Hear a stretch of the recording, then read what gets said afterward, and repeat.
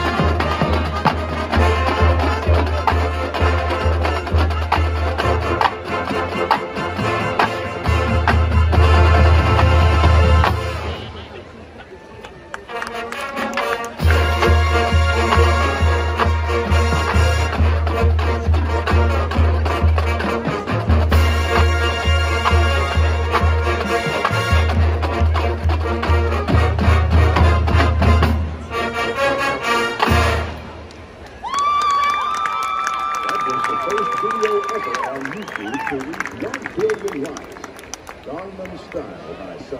Do you still remember how to dance to Gangnam Style? Or have other dance crazes taken over? Let's end our dance class show with two big hits from 2013 and 2014.